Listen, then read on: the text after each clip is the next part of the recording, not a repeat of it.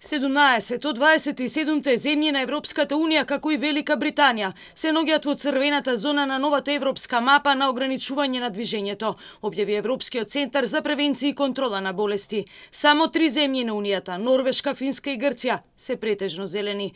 Другите пет, Италија, Кипар, Естонија, Литванија и Летонија, се главно означени со портокалова боја. Во црвено влегоа Франција, Шпанија, Полска, како и Велика Британија. Тоа значи дека бројот на нови случаи во последните две недели е поголем од 50 на 100.000 жители. Велика Британија воведе двонеделен карантин за патниците кои пристигнуваат од Италија, а оние кои не ги почитуваат мерките ќе бидат казнети со 11.000 евра. Британија е најпогодена земја во Европа од коронавирусот, со повеќе од 43.000 смртни случаи. Италија е на второто место во црната статистика на континентот, со над 36.000 смртни случаи. Европа е на пресвртница во борба против коронавирусот, вели шефот на најголемиот швајцарски бол болнички комплекс, признавајќи дека е се поголем заморот кај медицинските лица, а земјата се соочува со рекордни бројки. Well, Switzerland has an excellent health system and to to fight COVID, it requires not only good hospitals, but it requires a whole network of health system. And there, I think we're quite well prepared, even though it is a main, a huge challenge to every one of us and a huge stress on the system. So I would say, yes, we're prepared, but we're, yes, as well, we're worried a bit because it is a challenge, and it's a challenge with teams that have been quite exhausted by the first wave. Нокниот полициски час вечерва во 21 часот стапува на сила во Париз и во 8 други градови во Франција. Засегнати се 20 милиони граѓани.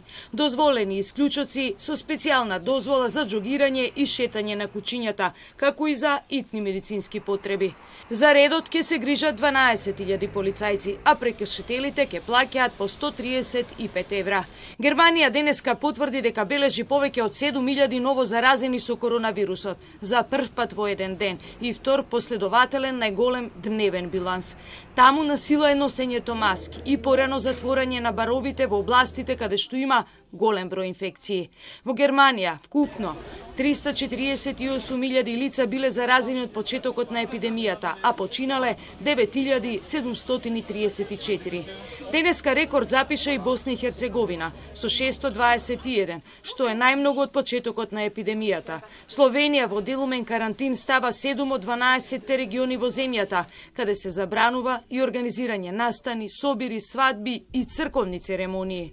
Новите мерки се се однесуваат на Лјубљана, Крањ, Целје, додека Марибор и Копер не се во така наречената црвена зона.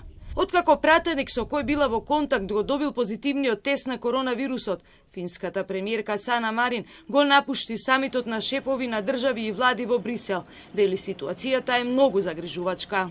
Kävimme myös keskustelua siitä, onko tarvetta järjestää ehkä useamminkin erityisesti koronatilanteeseen keskittyviä videoyhteydellä tapahtuvia, ei varsinaisia kokouksia, mutta ehkä tällaisia tiedonkulkutilanteita, jossa, jossa saisimme ajankohtaista tietoa. Ja tätä keskustelua varmasti jatketaan. Tilanne on, on hyvin huolestuttava monellakin tavalla.